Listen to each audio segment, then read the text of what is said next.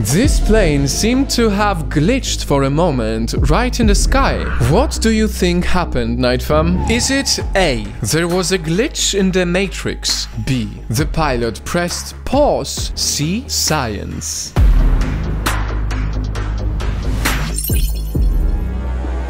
See, when the four forces of flight cancel each other out, it is possible for an aircraft to remain motionless in the sky. And because we are so used to seeing airplanes moving, we get weirded out by extremely rare moments like this, and then we explain it as a glitch in the matrix. But no, it's just science hidden in plain sight.